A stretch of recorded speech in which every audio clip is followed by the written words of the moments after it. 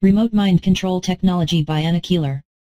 There had been an ongoing controversy over health effects of electromagnetic fields, EMF, for years, e.g., extremely low-frequency radiation in the Navy's Project Seafarer, emissions of high-power lines and video display terminals, radar and other military and industrial sources of radio frequencies and microwaves, such as plastic sealers and molders. Less is known of Department of Defense, DOD, and Central Intelligence Agency, CIA, interest in anti-personnel applications of the invisible energies. The ability of certain parameters of EMF to cause health effects, including neurological and behavioral disturbances, has been part of the military and CIA arsenal for years. Capabilities of the energies to cause predictable and exploitable effects or damages can be gleaned from discussion of health effects from environmental exposures. Interestingly, some scientists funded by the DOD or CIA to research and develop invisible electromagnetic weapons have voiced strong concern, perhaps even superior knowledge or compensatory to guilt, over potentially serious consequences of environmental exposures. Eldon Byrd who worked for Naval Surface Weapons, Office of Non-Lethal Weapons, was commissioned in 1981 to develop electromagnetic devices for purposes including riot control, clandestine operations and hostage removal. In the context of a controversy over reproductive hazards to video display terminal, VDT, operators, he wrote of alterations in brain function of animals exposed to low-intensity fields. Offspring of exposed animals exhibited a drastic degradation of intelligence later in life, couldn't learn easy tasks, indicating a very definite and irreversible damage to the central nervous system of the fetus. With VDT operators exposed to weak fields, there have been clusters of miscarriages and birth defects, with evidence of central nervous system damage to the fetus. Byrd also wrote of experiments where behavior of animals was controlled by exposure to weak electromagnetic fields. At a certain frequency and power intensity, they could make the animal purr, lay down and roll over. Jose Delgado, advocate of a psycho-civilized society through mind control, no longer implants electrodes in the brains of mental patients and prisoners, he now induces profound behavioral changes, hyperactivity, passivity, etc., by exposing animals to precisely tuned EMFs. He has also written of genetic damage produced by weak EMF fields, similar to those emitted by VDTs. Invariably, brain tissue damage and skeletal deformation was observed in newborn chicks that had been exposed. He was concerned enough to check emissions from the appliances in his kitchen. Ross Adey induces calcium efflux in brain tissue with low power level fields, a basis for the CIA and military's confusion weaponry, and has done behavioral experiments with radar modulated at electroencephalogram, EEG, rhythms. He is understandably concerned about environmental exposures within 1 to 30 Hz, cycles per second, either as a low frequency or an amplitude modulation on a microwave or radio frequency, as these can physiologically interact with the brain even at very low power densities. Microwaves Microwave health effects is a juncture where Department of Defense and environmental concerns collide and part ways. Security, according to Sam Koslov of Defense Advanced Research Projects Agency, DARPA, first prompt of low intensity, for non-thermal, microwaves. At times, up 70 to 80% of the research was funded by the military. From 1965 to 1970, a study dubbed Project Pandora was undertaken to determine the health and psychological effects of low-intensity microwaves, the so-called Moscow signal registered at the American Embassy in Moscow. Initially, there was confusion over whether the signal was an attempt to activate bugging devices or for some other purpose. There was suspicion that the microwave irradiation was being used as a mind control system. CIA agents asked scientists involved in microwave research whether microwaves beamed at human beings from a distance could affect the brain and alter behavior. Dr. Milton Zaret who on undertook to analyze Soviets' literature on microwaves for the CIA, wrote, for non-thermal irradiation, they believe the electromagnetic fields induced by the microwave environments affects the cell membrane, and this results in an increase of excitability or an increase in the level of excitation of nerve cells. With repeated or continued exposure, the increased excitability leads to a state of exhaustion of the cells of the cerebral cortex. Employees first learned of the irradiation 10 years after Project Pandora began. Before that, information had been parceled out on a strict need-to-know basis, which excluded most employees at the compound. Due to secrecy, and probably reports like Dr. Zaret's, Jack Anderson speculated that the CIA was trying to cover up a Soviet effort at behavior modification through irradiation of the, the United States diplomats, and that the cover-up was created to protect the CIA's own mind control secrets. Finally, an unusually large number of illnesses were reported among the residents of the compound. The United States Ambassador Walter Stoessel developed a rare blood disease similar to leukemia. He was suffering headaches and bleeding from the eyes. A source at the State Department informally admitted that excessive radiation had been leaking from his telephone. An American high-frequency radio transmitter on the roof of the building had, when operating, induced high-frequency signals well above the, the United States safety standard through the phones in the political section, as well as in lines to Stoessel's office. No doubt, National Security Agency or CIA electronic devices also contributed to the electromagnetic environment at the embassy, although values for these were never released, as they are secret. Stoessel was reported as telling his staff that the microwaves could cause leukemia, skin cancer, cataracts, and various forms of emotional illness. White blood cell counts were estimated to be as high as 40% above normal in one-third of the staff, and serious chromosome damage was uncovered the Soviets began research on biological effects of microwaves in 1953. A special laboratory was set up at the Institute of Hygiene and Occupational Diseases, Academy of Medical Sciences. Other labs were set up in the USSR and in Eastern Europe that study both effects of microwaves and low-frequency electromagnetic radiation. Years ago, in the halls of science, complaints could be heard that Soviet experiments regarding bioeffects couldn't be duplicated due to insufficient details in their scientific literature, although, According to one official, 75% of the United States papers on the subject carried insufficient parameters for duplication. Scientists even questioned, with McCarthy-like sentiments whether the Soviets were attenuating to frighten or misinform with false scientific reporting of bioeffects. It was unthinkable, according to cruder scientific theory, that non-thermal levels of microwaves could cause harm. Impetus for a study of such effect came not from concern for the public, but rather in the military and intelligence community's suspicion of the Soviets, and their equally strong interest in developing exploitable anti-personnel effects an interest that continues unabated today. The CIA and DOD security concerns metamorphized into research and development of invisible weapons capable of impacting on health and psychological processes. In fact, due to the finding of startling effects, DARPA's security became even tighter, and a new code name Bizarre was assigned to the project. Scientist Alan Frey of Randomline, Inc. was always more interested in low-intensity microwave hazards, thermal effects were known. During Project Pandora, the Navy funded such projects of his, as how to use low average power intensities, to induce heart seizures, create leaks in the blood-brain barrier, which would allow neurotoxins in the blood to cross and cause neurological damage or behavioral disorders, and how produce auditory hallucination or microwave hearing, during which the person can hear tones that seem to be coming from within the head or from directly behind it. In 1976, the Defense Intelligence Agency, DIA, released a report in which they attributed the results of Dr. Frey's, who acknowledges that his work was misattributed, he had thought up the projects himself. The DIA, but not the CIA, is allowed to use mirror imaging and net assessment in their reports, that is, respectively, the attribution of one's own motives and weapons capabilities to the other side, in this case, the Soviets. It follows, that there is nothing to prevent them from releasing a report prepared in this manner, and thus muddy the water of decision-making, pervert public opinion, stoke up congressional funding or enlist the support of naive scientists to counter the threat. There was strong criticism, through the American press, but apparently the DIA, at least in some issues, can dish it up with impunity. The 1976 DIA report also credits the Soviets with other capabilities, stating, sounds and possibly even words which appear to be originating internally can be induced by signal modulation at very low power densities. Dr. Sharp, a Pandora research at Walter Reed Army Institute of Research, some of whose work was so secret that he couldn't tell his boss, conducted an experiment in which the human brain has received a message carried to it by microwave transmission. Sharp was able to recognize spoken words that were modulated on a microwave carrier frequency by an audiogram, an analog of the word's sound vibrations, and carried into his head in a chamber where he sat. Dr. James Lin of Wayne State University has written a book entitled Microwave Auditory Effects and Applications. It explores the possible mechanisms for the phenomenon, and discusses possibilities for the deaf, as persons with certain types of hearing loss can still hear pulsed microwaves, as tones or clicks and buzzes, if words aren't modulated on.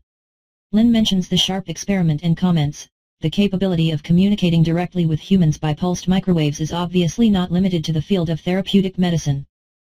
Dr. Robert O. Becker, twice nominated for the Nobel Prize for his health work in bioelectromagnetism, was more explicit in his concern over illicit government activity.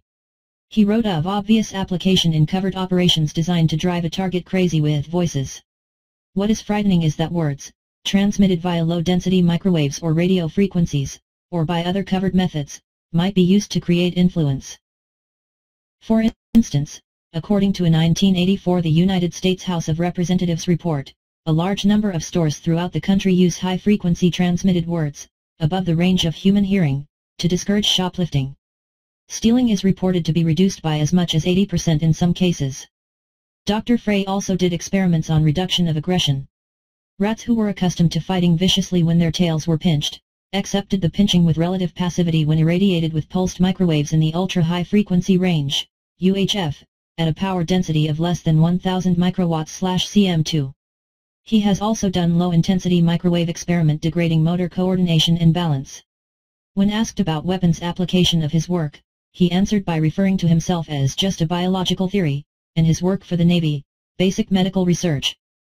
Lies before Congress in 1976, George H. Heilmeier, Director of Defense Advanced Research Projects Agency, DARPA, responded to a mailgram to President Ford from Don Johnson of Oakland, paraphrasing Johnson's concern, and assuring him that the DARPA-sponsored Army-Navy Pandora experiments were never directed at the use of microwaves as a surveillance tool, nor in a weapons concept. Don Johnson lingered in the memory of one DOD official who sponsored microwave research in the 1970s.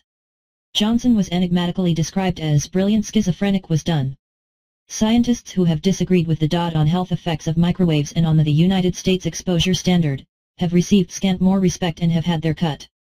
The next year, Heilmeier elaborated in a written response to an inquiry before Congress, this agency DARPA is not aware of any research projects, classified or unclassified, conducted under the auspices of the Defense Department, now ongoing, or in the past, which would have probed possibilities of utilizing microwave radiation in a form of what is popular known as mind control. We do not foresee the development by DARPA of weapons using microwaves and actively being directed toward altering nervous system function or behavior. Neither are we aware of any of our own forces, developing such weapons.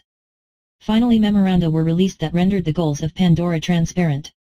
Richard Cesaro initiator of Pandora and director of DARPA's Advanced Sensor Program, justified the project in that little or no work has been done in investigation of the subtle behavioral changes which may be evolved by a low-level electromagnetic field.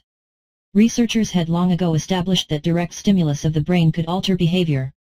The question raised by radio frequencies microwaves or radio frequencies of the UHF or VHF band was whether the electromagnetic could have a similar effect at very low levels. Pandora's initial goal, to discover whether a carefully constructed microwave signal could control the mind. In the context of long-term low-level effects, Cesaro felt that central nervous system effects could be important, and urged their study for potential weapons applications. After testing a low-level modulated microwave signal on a chimpanzee and within approximately a week causing stark performance decrements and behavioral disorganization, Cesaro wrote the potential of exerting a degree of control on human behavior by low-level microwaves seems to exist. On the basis of the primate study extensive discussions took place and plans were made to extend the studies to humans. According to a former DOD security analyst one such microwave experiment with human subjects took place at Lorton Prison in the early 1970s. He said that such research, in a weapons context, has occurred on behavioral effects of microwaves since 1976. He also asked why are you so concerned about then? What about now? They can call anyone a terrorist. Who are they using it on now? Behavioral Effects In June 1970 a government think tank, RAND Corporation published a report by R.J. MacGregor, entitled A Brief Survey of Literature Relating to Influence of Low-Intensity Microwaves on Nervous Functions. After noting that the, the United States Microwave Guideline in effect in 1970 for the public, 10,000 microwatts/cm2, now the Industrial and Military Guideline, is proscribed from consideration of the rate that thermal effects are dissipated, the author, a specialist in modeling neural networks states that scientific studies have consistently shown that humans exhibit behavioral disturbances when subjected to non-thermal levels of microwaves well below this level. The symptoms that MacGregor lists for those humans exposed more or less regularly at work or in the living environment are insomnia, irritability, loss of memory, fatigue, headache, tremor, hallucination, autonomic disorders, and disturbed sensory functioning. He reports that swelling and distension of nerve cells have been produced at intensities as low as 1000 microwatts/cm2, the current the United States guideline for the public.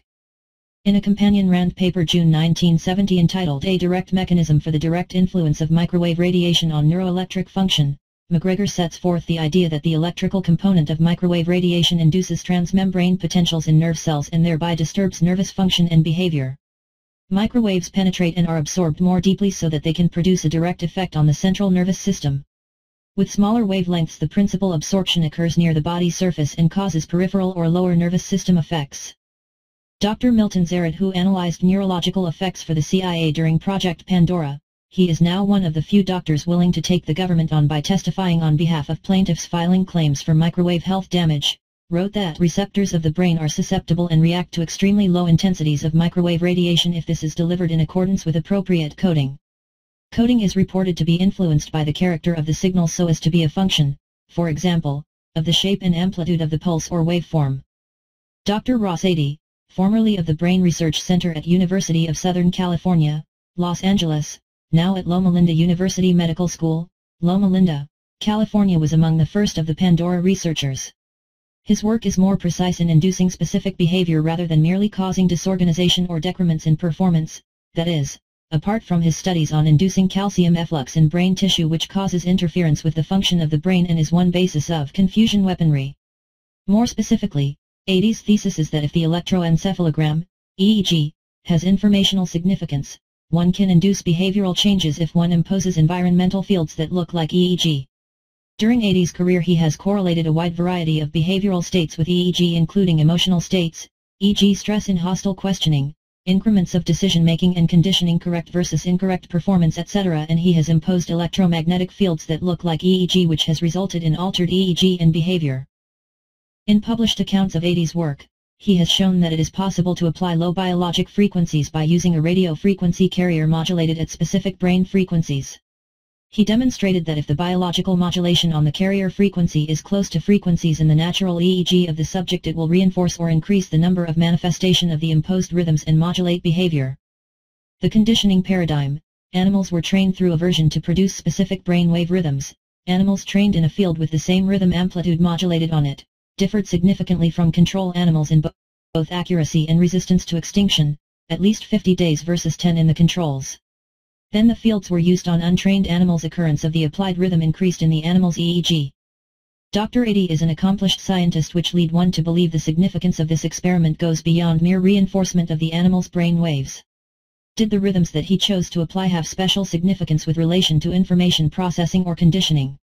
The 4.5 theta rhythm that he applied was the natural reoccurring frequency that he had measured in the hippocampus during a phase of avoidance learning. The hippocampus as Adey wrote in an earlier paper, involves neural processes connected with consolidation of memory traces. It relates closely to the need for focusing attention and the degree to which recapitulation of past experience is imposed. One might add to ensure survival. Does it follow that an EEG modulated carrier frequency can he use to enhance human avoidance learning? You bet provided the same careful procedures are followed with humans as were with animals, the same result would accrue. Recall again the goals of Pandora to discover whether a carefully constructed electromagnetic signal could direct the mind. The obvious question becomes how many and with how much accuracy can behavioral states or frames of mind be intentionally imposed, that is, apart from the certain technological capability to promote disorganization and degradation of perception and performance through use of the fields. In fact many components of warning or conditioning including affect, i.e. feeling or emotional states, can be imposed through use of the fields from a distance e.g. behavioral arousal orienting reflex, subliminal stress, alarm reaction without realization of the contextual significance, so-called levels of consciousness, inhibition of cerebral function which would render one more susceptible to suggestion or influence and so on.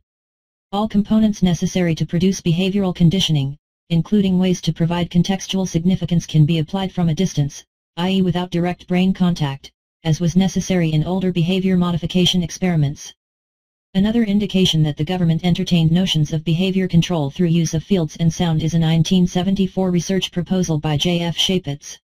To test his theory his plan was to record EEG correlates induced by various drugs and then to modulate these biological frequency on a microwave carrier. Could the same behavioral states be produced by imposing these brainwave frequencies on human subjects? His plan went further and included inducing hypnotic states and using words modulated on a microwave carrier frequency to attempt to covertly condition subjects to perform various acts. The plan is released, through the Freedom of Information Act, seems less part of a careful recipe for influence than Adey's and other DOD scientists' work, and may have been released to mislead by lending an information beam science fiction-like quality to the work. The end of Project Pandora may have signified the end of research into the cause of effects of the varying frequencies registered at the American Embassy in Moscow, some known to be due to CIA and National Security Agency equipment but interest in microwave and biological frequency weapons did not wane. Indeed there are indications of applications. As we have seen research that began in response to a security concern, transformed almost overnight into a search for weapons applications, while cloaked in disinformation about the Soviets. What types of weapons? There are three possibilities. 1. That microwaves, perhaps modulated with low biological frequencies are used from a distance to cause performance decrements and disorganization by interfering with neuroelectric function, or by causing central nervous system effects subjective feelings of ill health or health syndrome associated with periodic exposures at intensities below 10,000 microwatts/cm2. 2.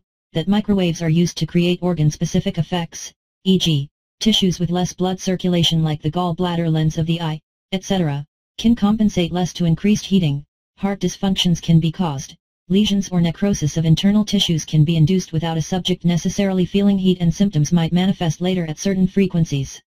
Slight heating or hot spots can be created at the center of the head, there is an ongoing Navy contract to find parameters to disrupt human metabolic functions, or 3 that they are used in an interdisciplinary approach to remote conditioning by creating information processing effects, as Dr. Adey's work shows, or to induce feeling or emotional elements of cognition such as excitatory reactions, subliminal stress, behavioral arousal, enhanced suggestibility by inhibition of higher functions, or various other EEG or behavioral effects. There are strong indications that microwaves have been used to cause the decrements, there is no question but that the, United States military and the CIA know the behavioral or psychoactive significance of applied biological rhythms and other frequencies, as this was part of the thrust of their work during Pandora. Inducing emotion or feelings through use of electromagnetic fields, and then synchronizing the feelings with words, symbolic of ideas, would be an effective way to induce preferences or attitude change, because it would mirror natural thought processes. The question seems less whether conditioning through use of covered technology is possible, than whether there has been a policy choice to use it. If the results of their research are used as part of a system that can condition behavioral responses from a distance, it is a secret that they hold close like a baby. Richard Helms wrote of such a system in the mid-1960s while he was CIA plans director. He spoke of sophisticated approaches to the coding of information for transmittal to population targets in the battle for the minds of and of an approach integrating biological, social, and physical mathematical research in attempts to control behavior. He found particularly notable, use of modern information theory, automata theory, and feedback concepts, for a technology for controlling behavior, using information inputs as causative agents. Due to Project Pandora, it is now known that applied biological, and other, frequencies can also be used as direct information inputs, e.g., a feeling or emotion, and to reinforce brain rhythms associated with conditioning and information processing. One way to get such a signal into a human may be through use of a high-frequency carrier frequency. Results of research into information processing, unconscious processes, decision-making, memory processes, and evoked brain potentials would likely be exploited or integrated in an interdisciplinary system. Covered technological influence is not so foreign to the American way of life as one may think. It was reported in a 1984 the United States House of Representatives hearing that high-frequency audio transmissions are applied, for instance, in some department stores to prevent theft. One East Coast department store chain was reported to have saved $600,000 over a nine-month period, and in some grocery stores with the result that employee-induced cash shortages significantly decreased and employees are better mannered. In other words, as Helms wrote of, verbal messages are delivered at frequencies above human hearing. Technology for commercial applications is relatively sophisticated. One studio uses a layered approach and 31 channels in preparing tapes, some employ a dual coding approach, integrating scientific knowledge of information processing modes of the two brain hemispheres, and others use techniques where a consumer is spoken to as a three-year-old child. There is no the United States law specifically regulating these types of transmission, over radio and TV a Federal Communication Commission catch-all provision might apply. If industry uses undetectable audio transmissions to meet security concerns, it seems that the military and CIA would exploit the same technology and would have developed much more sophisticated technology for applications. The public's conception of subliminal programming is naive compared to capabilities. The military has studied and considered for usefulness in a warfare and psychological warfare context a wide range of biological or pharmacological substances. In the memo referred to above, Helms wrote that the, United States is five years ahead of the Soviets in pharmacological agents producing behavioral effects. Some of these substances would increase susceptibility to influence if incorporated in the multidisciplinary approach he wrote of. A side effect of lowered resistance to subthreshold stimulus might be that, some would become aware of illicit influence, even under normal circumstances there is a wide variation in sensitivity among individuals to subthreshold stimulus. Normal individuals whom psychology terms reducers are much more sensitive in this way, actually, most schizophrenics are extreme reducers, and therefore, much more aware of stimulus that others aren't cognizant of.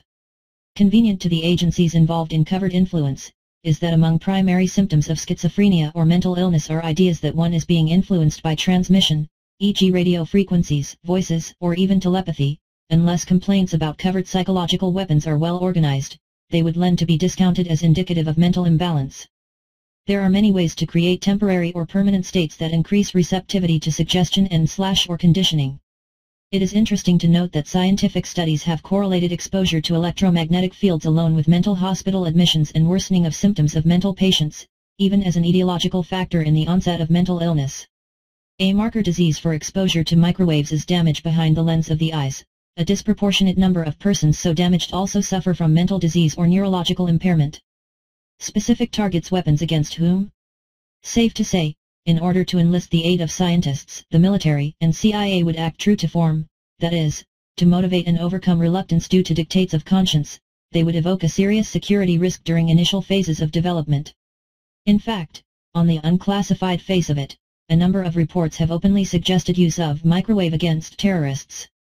Los Alamos National Laboratory, now under supervision of University of California, prepared a report for Federal Emergency Management Agency, FEMA, setting forth that use of microwave radiation on terrorists could kill them, stun them, or at least modify their behavior by changing their perceptions. At this point the cloak is donned, and the report continues. There are reports of Eurasian communist countries performing research with combined fields of signals from several different microwave frequencies to produce at least perceptual distortions in humans. Cable News Network recently aired a report on electromagnetic weapons and showed an official document that was a contingency plan to use electromagnetic weapons against terrorists. It wasn't made clear who the terrorists were or what the contingency was.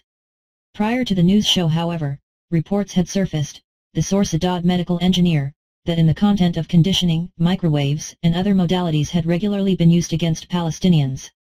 Greenham Common when DOD develops a weapon it can be said with certainty that it will be tested and, if possible, where it would be useful to meet their goals.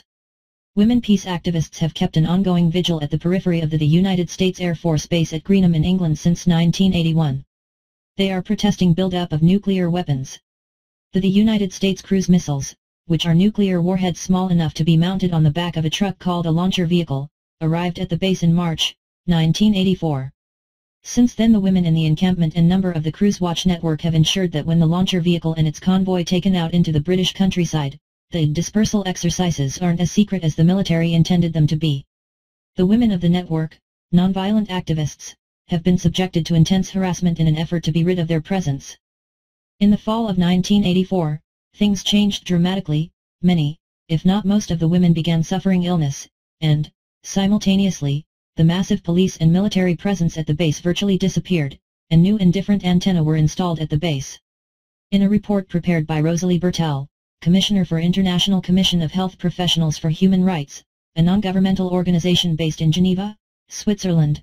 The unusual patterns of illness ranged from severe headaches, drowsiness, menstrual bleeding at abnormal times of postmenopausal, to of temporary paralysis, faulty speech coordination and in one case apparent circulatory failure requiring hospitalization. Other symptoms documented by peace activist Kim Besly, who coordinates investigations into reports of illness at specific places around the base, included vertigo, retinal bleeding, burnt face, even at night, nausea, sleep disturbances, and palpitations. Psychological symptoms included lack of concentration, disorientation, loss of memory, irritability, and a sense of panic in non-panic situations. The symptoms have virtually all been associated in medical literature with exposure to microwaves and most listed can be induced through low-intensity or non-thermal exposures. Measurement were taken around the base by members of Electronics for Peace and by others. Strong signals, up to 100 times the normal background level were detected on a number of occasions. In fact, signals 10 times stronger than those felt to be emanating from normal base transmitting systems were found. The strongest signals generally appeared in areas where the women said that they suffered ill effects. For instances, they were found to cover the women's encampment near the Green Gate, gate to the base are designated by color, but stopped abruptly at the edge of the road leading to the gate. The strength of the signals were also found to reflect the activity of the women, e.g., they increased rapidly when the women started a demonstration. Visitors to the encampment, both men and women, reported experiencing same types of symptoms and the same pattern of variation as the Greenham women. In a review prepared by National Bureau of Standards, Law Enforcement Standard Laboratory, for Nuclear Defense Agency, Intelligence and Security Directorate, use of low-intensity microwaves was considered for application as a psychological deterrent. The report stated, microwave radiation has frequently been cited as being responsible for non-thermal effects in integrated central nervous system activity. The behavioral consequences most frequently reported have been disability, listlessness, and increased irritability. The report fails to mention just as frequently cited low-intensity microwave health effects as chromosome damage, congenital birth defects, autonomic nervous system function, brain damage and other neurological abnormalities, including leaks in the blood-brain barrier and depletion of some neurotransmitter, among a host of other health impairments. As activist Kim Besly put it, it would now appear that we are protecting the missiles by killing people slowly. It is not necessary that the transmission take place from equipment in the vicinity of a target, although the Greenham women seem to be suffering from transmission made from within the base. Propagation of microwaves has been very well studied and is very sophisticated, e.g., a 2-inch beam can be sent from a satellite point to point, to a receiving disk on Earth, and, it was reported in 1978, that the CIA had a program called Operation Peak, which included bouncing radio signals or microwaves off the ionosphere to affect the mental function of people in selected areas, including Eastern European nuclear installation. In the United States, at this time, there is no legally enforceable microwave standard. There never has been an enforceable standard for the public or the workplace. Microwaves at intensities within the suggested guideline have finally been shown, even by the United States research, to cause health damage. Notes permission is given to reproduce and redistribute, for non-commercial purposes only, provided this information and the copy remain intact and unedited. The views and opinions expressed below are not necessarily the views and opinions of Very COMM, MindNet, or the editors unless otherwise noted. Editor, Mike Coyle Contributing Editors, Walter Bowart, Alex Constantine Assistant Editor, Rick Lawler Research, Daryl Bross.